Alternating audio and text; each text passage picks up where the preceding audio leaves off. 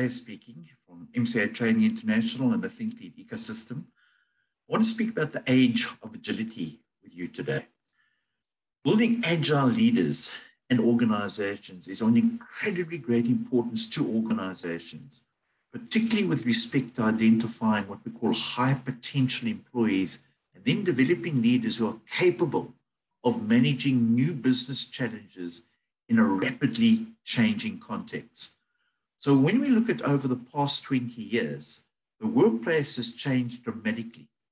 Disruptions in digitalization, market consolidations through mergers and acquisitions, financial pressures, globalization, and the emergence of significant new players, especially from the tech industry, have radically changed the competitive landscape for many long established companies. And that's not without talking about the impact that COVID has had on organizations. Many once leading organizations no longer exist.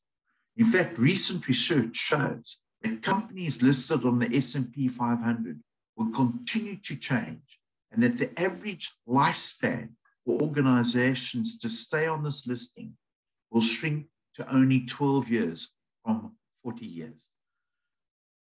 So this is huge information. It really truly is. When we look about questions about agility in terms of what are we looking at when we're looking at agility, what is it about certain leaders, for example, that creates the momentum, the spirit, the buy-in that fosters an agile culture? And then how do these leaders engender the type of environment where growth, transparency, and purpose are primary markers of their legacy? And lastly, how can organizations create right practices and processes to properly identify and develop leaders who will navigate uncharted territory? Well, we believe that ability, agility at the end of the day is the capacity to adapt and change. What do we mean by the capacity? And here's the big deal.